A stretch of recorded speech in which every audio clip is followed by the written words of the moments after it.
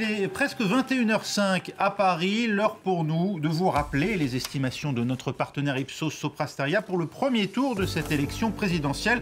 Estimation actualisée, Roselyne. Oui, 28,4% pour Emmanuel Macron, 23,4% pour Marine Le Pen. Viennent ensuite Jean-Luc Mélenchon, un petit peu plus haut effectivement, qu'on l'a donné à 20h. Il est à 21,1%. Désormais, il se rapproche de Marine Le Pen, vraisemblablement pas assez pour se qualifier au second tour. Éric Zemmour, lui, est bien à 7%. Valérie Pécresse est en dessous du seuil de remboursement des frais de campagne, 5,7%. 4,7%. Et Yannick Jadot, 4,5%. Jean Lassalle, 3,2%. Et Fabien Roussel, 2,4%. Nicolas Dupont-Aignan 2,1%, Anne Hidalgo du Parti Socialiste 1,8% en dessous donc non seulement du Parti communiste mais même de la barre des 2%. Philippe Poutou est à 0,8% et Nathalie Arthaud à 0,6%. Tout de suite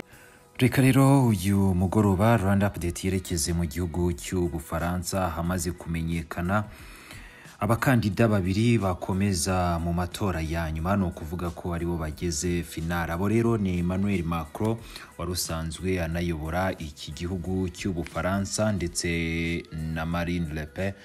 Nk'uko tugiye gukomeza tubigarukaho muri ino nkuru yacu gatanu kuri gatanu nk'aho ikaze rero ureba aho hasi handitse subscribe kugira ngo ujye ukomeza kubana natwe no mu yandi makuru aba atandukanye. Nka gusezeranya ko nyuma y'iyi nkuru uh, ikomeje gucicikana ku mbuga nkoranyambaga dore ko ari na breaking news turaza gukomeza twerekeza hano mu gihugu cy'u rwanda no mu yandi makuru atandukanye. Emmanuel macron umaze imyaka itanu ayobora ubufaransa ndetse na marine pen nibo batsindiye gukomeza mu cyiciro cya nyuma uh, nk'abakandida bazavamo perezida wa kiriya gihugu cy'ubufaransa aba bombi rero uh, nibo bagiriwe icyizere mu matora yabaye kuri iki cyumweru tariki ya cumi mata ibihumbi bibiri na makumyabiri na kabiri. Ibyavuye mu majwi uh, y'agateganyo y'amatora y'umukuru w'igihugu mu bufaransa byerekana ko perezida emmanuel macron ubarizwa mu ishyaka ry'abarepublike yagize amajwi makumyabiri n'umunani n'igice kimwe ku ijana. Ni mu gihe marine le pen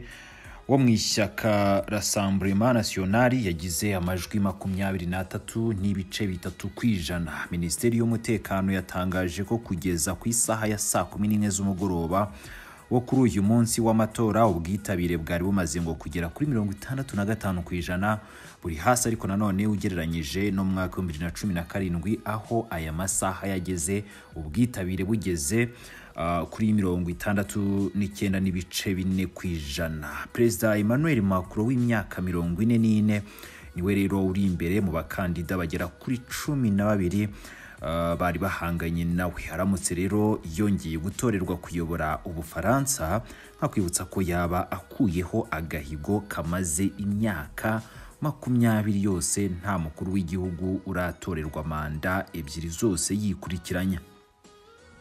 Perezida uheruka gutorwa manda ebyiri zikurikirana yari jacques icyo gihe hari mu mwaka w'ibihumbi bibiri na kabiri. Kugira ngo rero perezida w'ubufaransa atorwe mu cyiciro kimwe gusa byasaba ko aba yagize amajwi ari hejuru byibuze ya mirongo itanu ku ijana. Ariko nanone kugeza ubu nta mukandida urabasha kubigeraho. Icyiciro cya kabiri ni cyo cyemeza perezida watowe hagati y'abakandida babiri babonye amajwi menshi kurusha abandi mu cyiciro cya mbere. Biteganyijwe ko umukuru w'igihugu cy'ubufaransa ni ukuvuga ugiye kuyobora manda y'ubutaha y'imyaka itanu iri imbere hagati ya emmanuel macron ndetse na marine izamenyekana kuwa makumyabiri na kane mata uyu mwaka. Turimo n'ubundi izo breaking news tuzazikugezaho. Reka noneho dukomeze twerekeza hano mu gihugu cy'u rwanda nk'ibisanzwe gatanu kuri gatanu ntujye kure turaza gukomeza kubana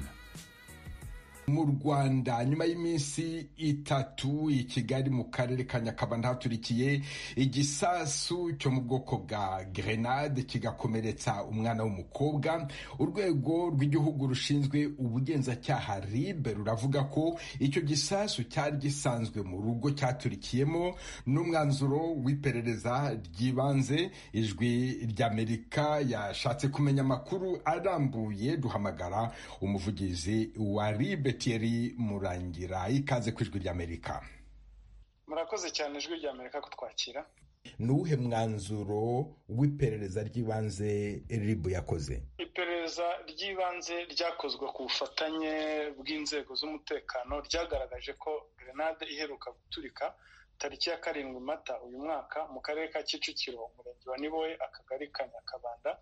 Umudugudu w'indakemwa yari isanzwe iba muri urwo rugo yaturikiyemo ba nyir'urugo bakaba batari bazi ko ari igisasu ahubwo bagifataga nk'igikoresho cy'ubwubatsi kuko cyari kibitse hamwe n'ibindi bikoresho by'ubwubatsi ndetse bagifataga nk'igikoresho cyakwifashishwa nko gutera umusumari.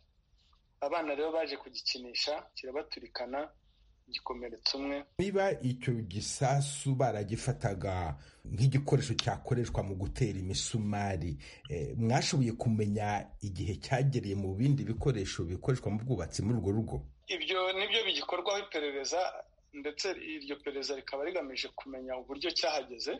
Gusa ikidashidikanywaho ni uko abo bana bagikinishije batazi ko ari igisasu giturika ibisasu biturika birumvikana abaturage ntago baba babizi. Mu gihugu cyabayemo intambara nk'u rwanda birashoboka ko n'ahandi bishobora kuba bikira abaturage batazi ko bihari. Hari ibindi bisasu bimeze nk'icyo byigeze biturikira mu zindi ngo mu rwanda.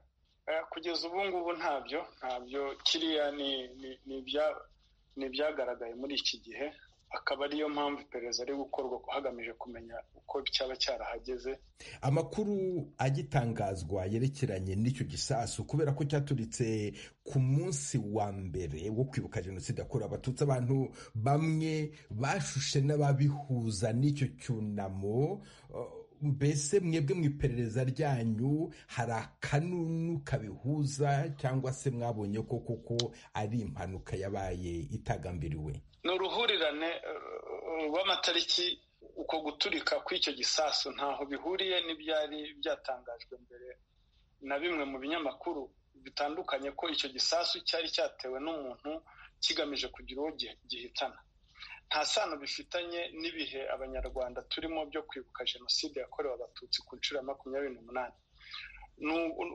Ni uko uko guturika byahuriranye n'itariki ya karindwi mata gusa ntabwo cyatewe n'umuntu nta n'uwo cyari kigamije guhitana ni uruhurirane rw'amatariki.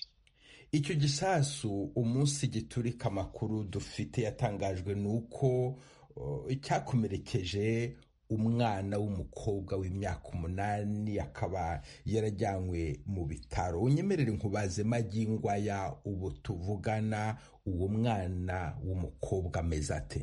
Uwo mwana w'umukobwa ameze neza ari kwitabwaho ndetse abaganga batubwira ko ari kugenda arushaho kumererwa neza ku buryo mu minsi iza ari bube yavuye mu bitaro.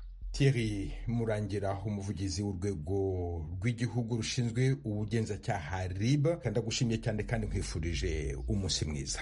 Murakoze cyane ijwi ry'amerika